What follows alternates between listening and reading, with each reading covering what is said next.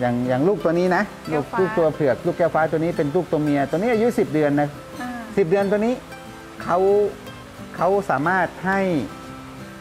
รางวัลแก่เราที่ดูแลเขาเนี่ยนะถึง 1 ล้านบาท ตัวเนี้ยเหรอคะใช่ครับมีคนจองแล้วเหรอมีคนพี่จองนะครับอ๋อเท่ากับว่ามีคนจองในการจำหน่ายของลูกของแก้วฟ้าหรือว่าลูกของแม่พ่อพันธุ์อื่นๆอย่างเงี้ยพี่เอกคือ 1 ปีพี่เอกถึงจะปล่อยจำหน่ายหรือว่ายังไงะใช่ครับตอนตอนนี้ถ้ามีจำหน่ายได้ได้ราคาเราก็ให้ไปใน 1 ปี แต่ถ้า ตัวไหนคืออาจจะยังไม่สมบูรณ์เท่าไหร่ก็เราเลื่อนไปประมาณ 1 ปีครึ่งอืมนะครับใกล้ๆจะเป็นสาวแล้วหรือว่าใกล้ๆเป็นหนุ่มแล้วนะครับตัวนี้ตัวนี้อายุอยู่ 10 เดือนพอดี เดือนนี้เดือน9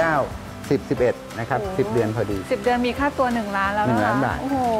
สุดยอดมากแล้วก็เยอะเราเราก็นำสั่งเข้ามาอีกนะครับ แม่พันธุ์ที่ดีๆ อย่างตัวเนี้ยแม่โอ้ยแม่พันธุ์เขาที่ท้องอยู่ดีปะคะพี่ใช่ครับท้องอยู่ครับ ตัวนี้เป็นลูกของลูกสาวเพชรอุดรตัวนี้อ๋อนะฮะก็ราคาที่ซื้อมา 8 5 0 0 0 0 บาท ตัวเนี้ยใช่ครับ อย่างนี้คือตัวนี้อย่างตัวเนี้ยค่ะมีคนจองหรือยังครับมีแล้วครับอ๋อก็คือลักษณะปีกว่าๆนี่คือมีคนจองหมดแล้วก็เดี๋ยวก็ไปส่งนะครับ ยังไม่ถึงปีตัวนี้ก็ 10 เดือนสิบเดือนอ๋อโอ้โหตัวตัวใหญ่มากเลยอะครับแล้วแล้วตัวนู้นตัวนู้นก็ยังไม่ถึงตัวนั้นสิคะยังครับยังโอ้ตัวนี้ก็มีคนจองเหมือนกันครับ อย่างนี้คือในการจำหน่ายออกไปเนี่ยคือเขามา เขามารับถึงที่หรือว่าพี่เอกเอาไปเพราะส่เรางต้องไปส่งครับเอาไปส่งเขาอ่าเหรอคะราคาแพงเราเราต้องไปส่ง ตัวนี้ก็คือแม่แต่ควายตัวแรกที่เราได้มาอ๋อ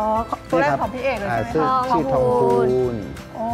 ได้มาจากที่ไหนคะเนี่ยได้มาจากเอ่อโรงเชือดของในห้างพระนครศรีอยุธยาโอ้แต่เขาเขาเออเพิ่งเคยเห็นตอนเขาตอนแบบนี้ผสมไปแล้วทับไปแล้วผสม แก้วฟ้าไปแล้วให้อันนี้เขาให้มาอยู่ลูกดีอยู่กับพี่เอกกี่ปีแล้วคะเนี่ยตัวนี้ อยู่กับเรามาตั้งแต่เริ่มแรกเลย ตอนนี้พี่เอกเลี้ยงควาย7ปีก็ 7 ปีดีเนาะ7 ปีแล้วก่อนหน้านี้เขาก็อายุมากครับ ผมแสดงว่าตอนนี้เขาก็ 10 กว่าปีแล้วนะพี่เนอะใช่ครับ แต่เขายังส่งผลให้ลูกดีเหรอคะได้พี่อยู่ครับ เพราะว่า โอ้ควายอายุไขถึง 35 ปี สามารถให้ลูกได้ถึง 17 ถึง 20 ตัว ขึ้นอยู่การเลี้ยงของเรา เหรออันนี้เขา10กว่าปี แต่เขาก็ยังให้ลูก เขาก็ยังให้ลูกได้ดี ใช่ครับ โอ้ตอนนี้เพิ่งแยกลูกออกไปเหรอคะโอ้ตัวนี้ให้ลูกดีไหมครับทองคูณดีดีดีมากครับ ตัวนี้ให้ลูกดีมาก ตัวนี้ราคาสนนราคาก็น่าจะอยู่ประมาณ 2 ล้านถึง2ล้านห้านับปัจจุบัน ใช่ครับ พี่เอกละซื้อมา8แสนกว่า ไม่ครับ ตอนนั้นซื้อมาประมาณ2 0 0แสน2แสนครับ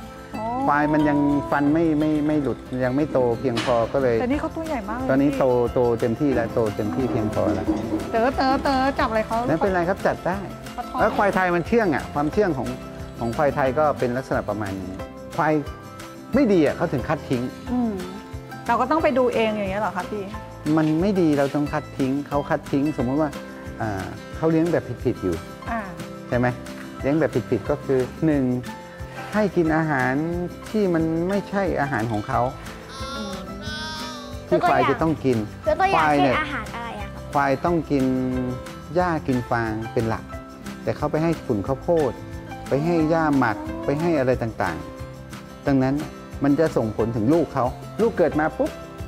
แค่แกนแค่แกลนไม่มีน้ำนมให้ลูกกิน หรือนมมีนมน้อยนมไม่มีคุณภาพ แสดงว่าเขาเลี้ยงควายไม่ถูกวิธีของเขาถูกต้องครับอ๋อ แล้วก็ต้องขายคัดมาให้เราขายคัดมาเราก็มองดูแล้วว่าควายตัวนี้เขาเลี้ยงมาแบบแบบผิดวิธีเราก็เอามามาอยู่กับเรา